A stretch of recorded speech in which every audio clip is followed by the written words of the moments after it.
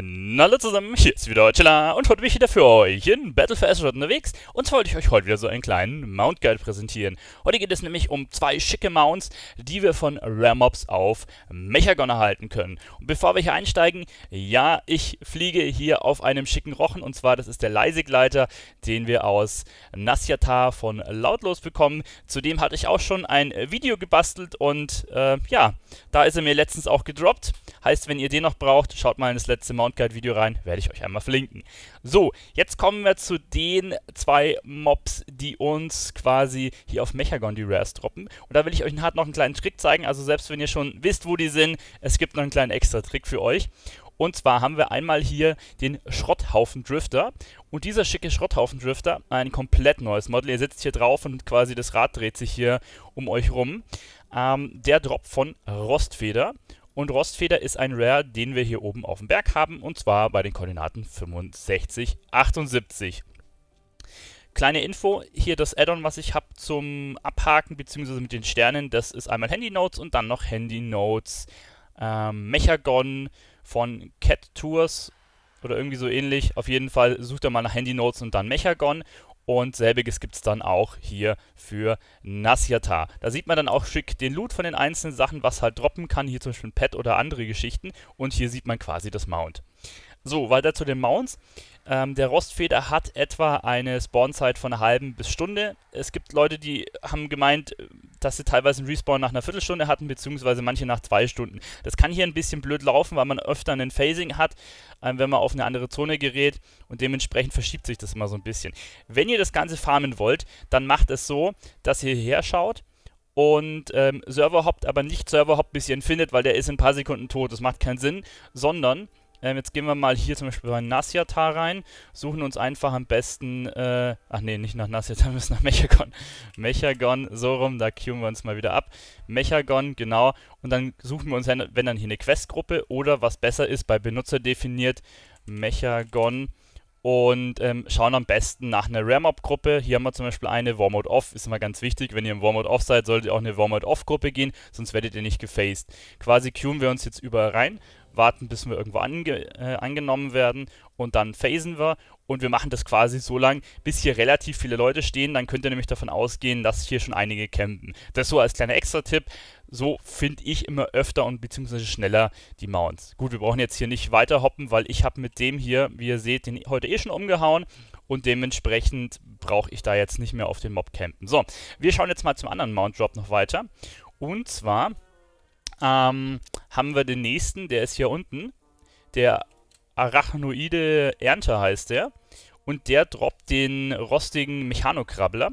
Und wer den Arachnoiden Ernter schon gesehen hat, ist das quasi so ein, ja, eine normale Spinne mit so dünnen Beinchen, die wir umklopfen können. Hier sieht es ähnlich aus, ähm, zwischen einer halben und einer Stunde Respawn-Zeit. Manche Leute haben ihn schon früher gesehen. Anscheinend ist die sehr, sehr variabel. Auch hier könnt ihr quasi mit den Gruppen hin und her hoppen. Die Drop-Chance, wie gesagt, von beiden Mounts wird vermutet, dass sie etwa bei 1% liegt. Wissen tut man es noch nicht genau, wir hätten noch keine Daten ausgewertet. Auf jeden Fall ist sie nicht sonderlich hoch. Ich habe den schon öfter mit, also beide Ram-Ups mit 40 Mann-Gruppen umgehauen und keiner hat Mount gekriegt. Heißt, ist der beschissen. Wobei dasselbe hatte ich bei beim Leisegleiter und dementsprechend habe ich ja das Mount rausgezogen. Ich nehme mal an, da ist es auch etwa bei 1%. So, dann schauen wir mal an, wie das Mount aussieht.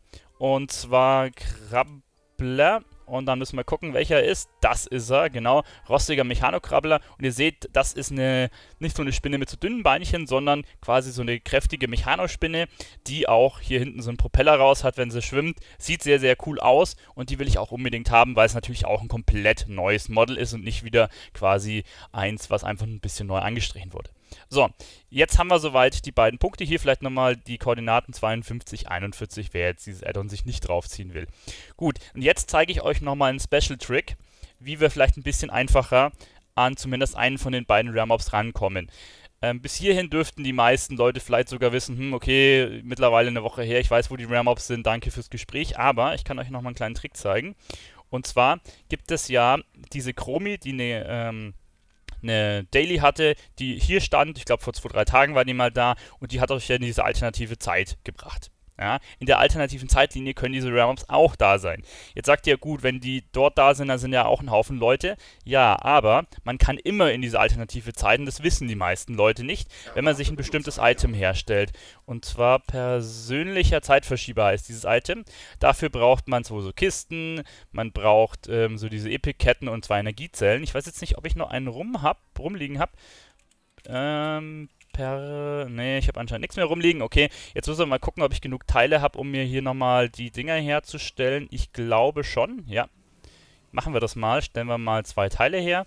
Und dann können wir uns unseren Persö na, persönlichen Zeitverschieber herstellen. Und mit diesen... Ach, ich hatte sogar noch welche. Ach, fuck. Egal. Und jetzt sind wir hier quasi in der anderen Zeitlinie.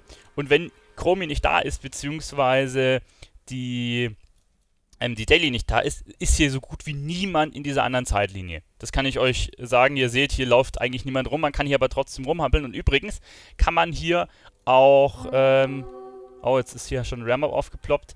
Ähm, und hier ist dann auch sehr, sehr oft der Ramp da. Also das einfach mal abchecken, ob ihr den dort stehen habt. Ihr müsst zwar ein paar Teile ausgeben, aber ich habe jetzt, ich glaube, die letzten zwei, drei Mal bin ich hierher gefaced äh, und habe direkt diesen Ram-Up hier gefunden, weil kein anderer mehr da ist.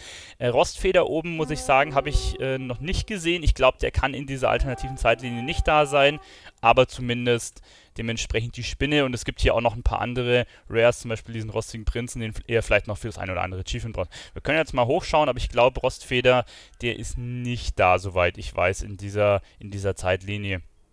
Genau, hier ist auch nichts oben, hier sind auch keine Viecher, weil man im Normalfall hier unten bleiben sollte. Genau, also für die Spinne wäre das eine Alternative, da könnt ihr mal gucken, dass ihr vielleicht ähm, euch dann hier hinfaced, wenn euch die Teile jetzt nicht so wichtig sind, ihr genug rumflacken habt und euch dann schnell den Ra holt und dann einfach wieder, ihr könnt es hier wegklicken, dann seid ihr wieder in der, in der normalen ähm, Zeitzone. Ihr könnt auch quasi das anklicken, wenn ihr direkt über dem Mob steht und face dann direkt in die andere Zone. Gut, das war's mit dem kleinen äh, Mount Guide. Ich hoffe, dem einen oder anderen konnte ich ein bisschen weiterhelfen. Sollte es der Fall sein, würde ich mich freuen, wenn ihr mich positiv bewertet. Und wenn ihr mehr solche Videos sehen wollt, könnt ihr mich selbstverständlich gerne abonnieren. Euer Telar, bis zum nächsten Mal. Äh, ciao.